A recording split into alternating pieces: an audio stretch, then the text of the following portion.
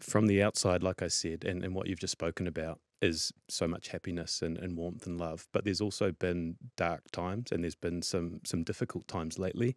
If you're open to it, would you be able to talk to us about what, what happened with your dad recently? Yeah, so uh, February 11, 20, what are we, 23, 22, 2022, I got a phone call from my uh, half sister to say that dad had passed, which was a huge shock, and then found that he um, committed suicide. So the dad was someone that I didn't have a lot to do with when I was younger, but would sort of be there every now and then. Um, it was almost so I could avoid paying maintenance to mum, but mum wasn't worried about that. But back then, the government would f- find him and pretty much make them make payments. And so he'd just go underground basically. And as soon as we'd find where we were, it was just more to say good day. And he sort of felt as though he just had to spend money on us all the time to make up. But I just wanted to spend time with him, you know. So over the time as we got older, you know, I talked to him a lot more. Um, and yeah, it was really cool. And then towards the end, there was moments where he'd just sort of say, Stevie, I'm tired, I'm worn out, I'm, you know, I'm done sort of thing. Um, and he'd said that a lot through his life.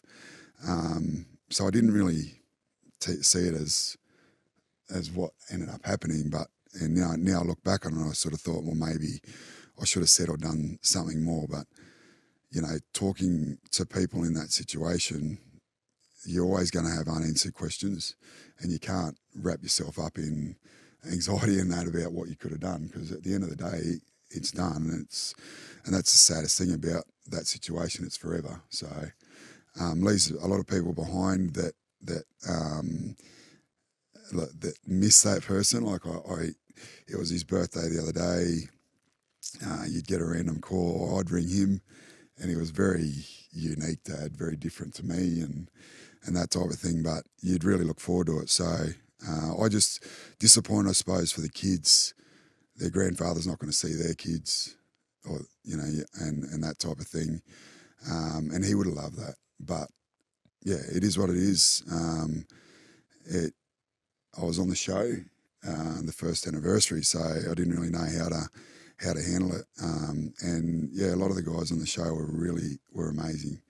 Um, spoke about it around the campfire one night, and yeah, sort of open up a lot of people to talk about different things in their life as well, which um, yeah, put things in, in perspective and really helped. So I didn't really know um, how I should have felt. That was the hardest thing. Um, so in a weird way, it's amazing that you were able to share that experience with some people who have maybe have some tools in their tool set through the show to be able to kind of help you around yeah. that period. Well, and then to actually understand that there's some people that are, had a bit worse off experiences, you know, like was, uh, and I didn't say anything on the day because I, I didn't want, I don't know, I just didn't want people to feel sorry for me or anything like that. So you're trying to be this big tough person, but people could tell like there was something something wrong, and they and they kept asking me, "Are you all right?" And I go, "Yeah, yeah, yeah, no, I'm all good."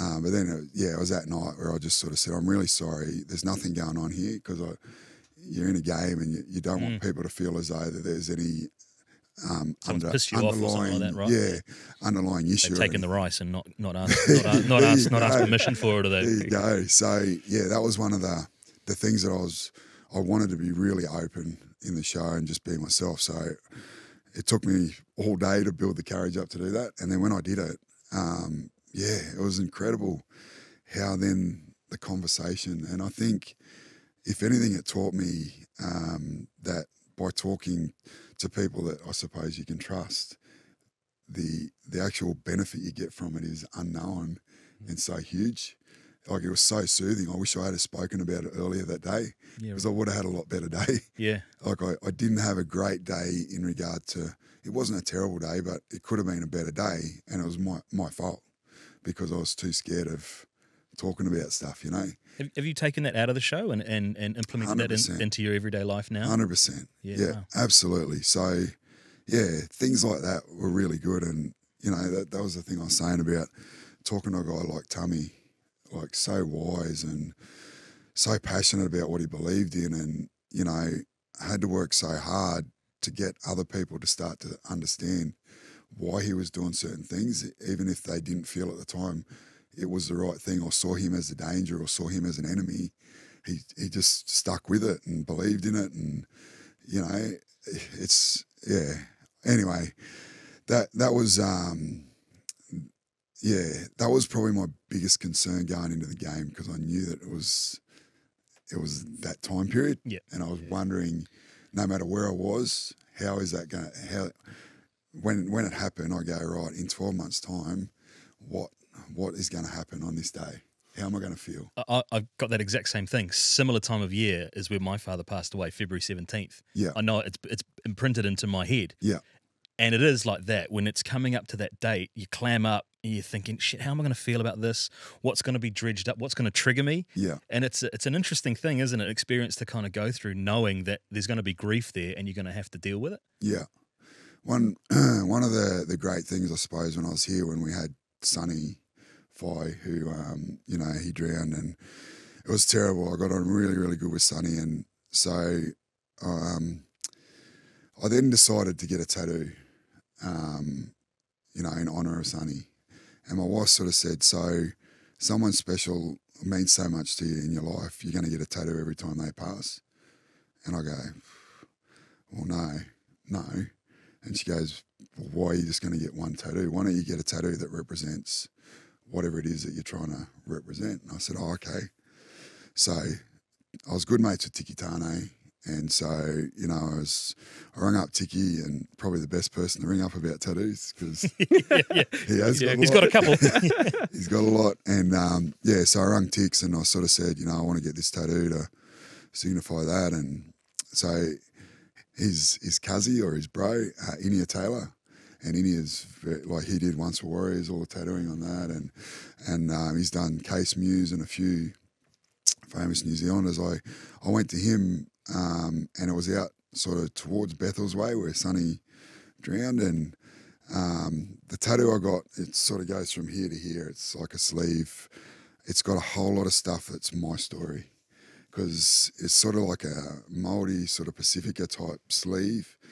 And I didn't want to come across as being a plastic, just turning up Yeah. here and, oh, he's an Aussie trying to carry on and be like us. I sort of said to Innie about that, and Innie said, mate, it's like Chinese. You don't have to be Chinese to eat Chinese, you know, and it's your story. And as long as you know what all the things mean to you, that's what's most important. And I go, sweet, that's a great way to ex- explain it. So it took 24 hours to to do this tattoo, and the last bit was tap tap. He did the old style, so it's got you know indigenous in it for obviously where I'm from, Australia. Um, my heritage is Celtic, so it's um, English, Scottish, and Welsh.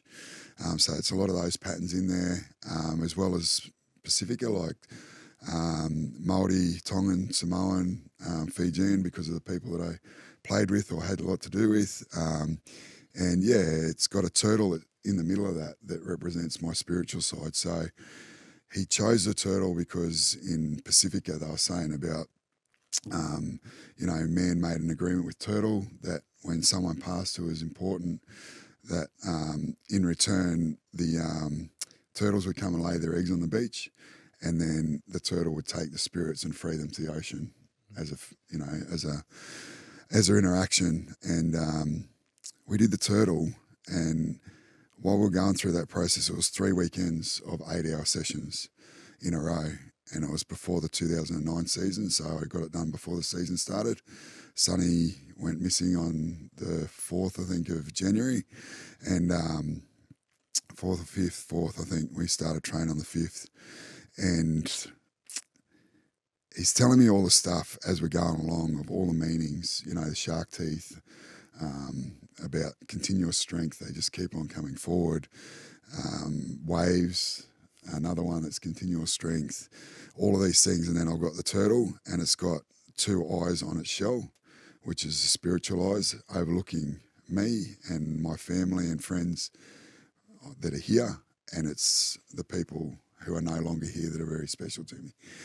Um, the four legs are the kurus of my, obviously my grandparents, um, who are very important to me, and uh, the shell is obviously protection um, and shelter and that type of thing. So we're going through this process every time. You, you imagine 24 hours of spending time with someone, and he's so knowledgeable. Anyway, the tattoo was done on the Sunday night. On the Monday morning early, he rang me and he goes, Bro, he goes, They're not going to find Sonny.